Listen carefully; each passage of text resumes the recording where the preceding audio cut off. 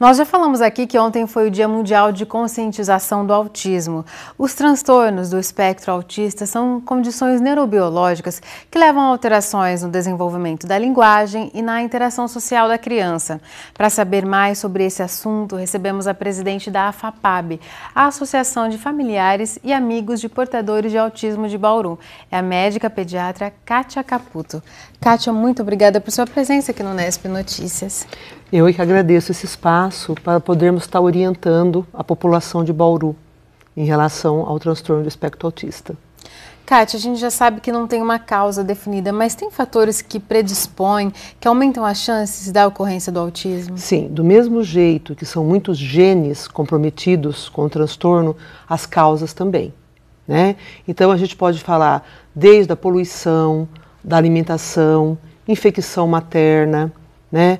Uh, estresse, que hoje né, nós vivemos muito sob estresse. Da tá? gestante. Da gestante, né? As infecções, né, que, que pode ser uma toxoplasmose, uma mononucleose, um citomegalovírus, várias infecções que a gestante pode ter durante a gestação.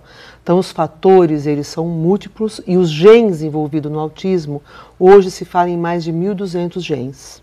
É praticamente impossível, muito difícil isolar um gene. Exatamente, por isso que nós não temos um marcador biológico único. Um exame. Isso, por isso que se fala transtorno, porque não existe esse marcador biológico único para se dar o diagnóstico. E nós estamos falando de um transtorno, tá, que pode acometer, pela última estatística, principalmente americana e europeia, cada 64 crianças nascidas vivas, uma pode estar dentro do espectro nos seus níveis.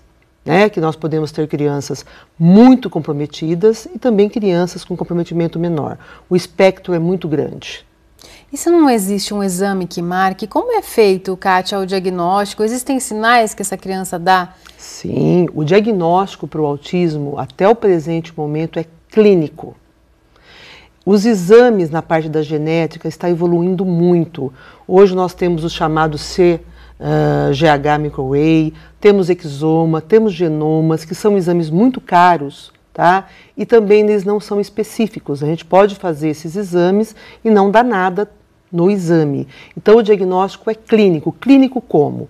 Feito por um profissional preparado para dar esse diagnóstico, que ele use testes validados também para se aplicar nessas crianças. Então, o diagnóstico é clínico. É importante, você me explicava que os pais se atentem a alguns sinais. Quais seriam? Sim, então nós temos os sinais, até que nós chamamos de risco para estar no transtorno do espectro autista, que a gente pode ver desde idade tenra, tá? Então a gente pode pegar o profissional que vai fazer essa avaliação, a primeira coisa, ele tem que ter noção do desenvolvimento normal. O pediatra, os meus amigos pediatras, que são o especialista nessa área de desenvolvimento normal. Então, aquela criança que já, em torno de seis meses, que você já olha para ela, ela dá risadinha para você, ela está fazendo aí uma interação social, ela está fazendo um contato visual. E isso os pais percebem. Eu tenho pais que já chegaram em mim falando: o meu bebê parece que olha através de mim. Aquele bebê que já com seis meses eles não faz aquilo que a gente chama de não ter atenção compartilhada. Você vai brincar com o bebê ou ele se fixa numa outra coisa e ele não compartilha esse momento com você. Ou aquele bebê que a mãe chega assim, bebê quando eu falo, gente, é o que a gente chama de lactente, até dois anos de idade. Porque a obrigação de nós, profissionais da saúde hoje, nós pediatras, todos envolvidos nesse diagnóstico, o neurologista, o psiquiatra, é estarmos atentos a esses sinais precoces. Então, quando a mãe vem falando, eu chamo meu filho, chamo e ele não olha para mim. Ou meu filho está com um ano e oito meses e ele não fala. A criança, a partir de um ano, ela já está falando duas palavras, mamã, papá, e isso vai melhorando. Em torno de dois anos, a criança tem que ter um vocabulário de várias palavras. Eu quero água. Então, assim, não podemos falar, não, porque o primo falou com quatro anos. Não, gente. Não, famílias. Não, profissionais. Vamos ficar atentos. É um sinal, não só a linguagem. O déficit de linguagem ele pode ter muitos motivos. Mas nós temos que pensar no transtorno do espectro autista, nós temos que pensar naquela criança que tem até um atraso motor, que é mais hipotônica, nós temos que intervir. E pais, mais do que o diagnóstico, o importante é a intervenção precoce. Então, aquela mãe que chega falando, doutora, a minha família fala que eu sou louca, que eu estou vendo coisa demais no meu filho.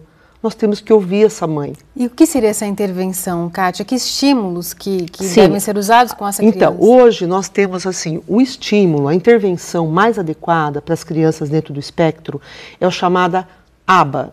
É uma análise de comportamento. Tá? O comportamento humano ele tem que ser estimulado. Então a gente pode analisar esse comportamento desde a linguagem até a interação social, porque todas as crianças dentro do espectro, tá? Elas têm uma coisa em comum, desde as menos comprometidas até a mais comprometida: a dificuldade na interação social, a dificuldade de interagir. Doutora, a meu filho vai para a escola e fica num canto brincando com o brinquedinho. Ele não vai com a roda dos, ami dos amigos. Então ele não está interagindo. Então o ABA ele vai trabalhar esse comportamento desde a tenridade, o contato visual. Como é que uma criança que não olha pode aprender?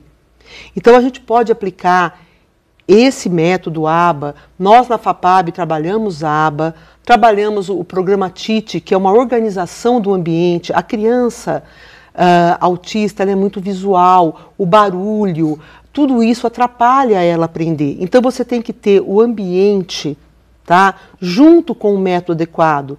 Quando a mãe na entrevista anterior citou em relação à nossa inclusão, tá, ninguém é contra incluir.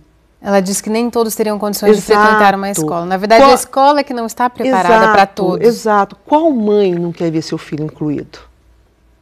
Todas. Mas elas querem uma inclusão adequada. Hoje, a nível dos Estados Unidos, até mesmo em São Paulo, se fala muito do auxiliar terapêutico. Já não fala mais o educador especializado ou o cuidador. Nós não queremos cuidador para as nossas crianças. Nós queremos gente que tenha preparo para estar tá cuidando com elas, que tenha tido a, a, toda a noção de como cuidar com elas, porque senão, ao invés de ganhos, elas vão ter perdas. E nós não temos tempo a perder.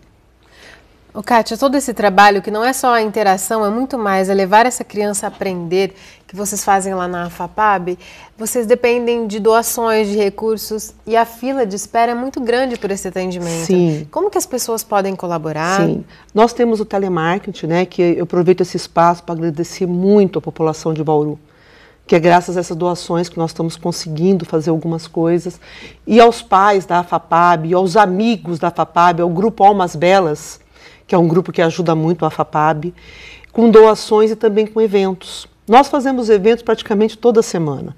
Eu, uh, uh, queria aproveitar para convidar a população no dia 8 de abril, nós temos o chá beneficente, que vai ser na Casa do Médico, estão todos convidados, porque o que, que nós queremos? Nós queremos preparar, nós queremos acolher, nós queremos ajudar. Além desse trabalho que é feito com as crianças que estão às 27 horas semanais na FAPAB, que a FAPAB ela é uma escola especial para autista, nós temos o atendimento externo para você, pai, para você, mãe. Né? O nosso contato é o 3223-2569 e toda quarta-feira eu e a psiquiatra infantil nós fazemos o atendimento para o diagnóstico precoce. Venha até nós para nós podermos ajudar você, pai, mãe, mas não deixa passar o tempo. Eles não podem perder tempo. Certo, Kátia. Muito obrigada por seus esclarecimentos aqui. Eu que agradeço. E as famílias que quiserem nos procurar, a fila para o atendimento também é grande. Mas se você quiser ir qualquer quarta-feira à tarde lá para conversar comigo, toda quarta-feira à tarde eu estou na FAPAP. Estou ali para tirar dúvidas das famílias, para ajudar.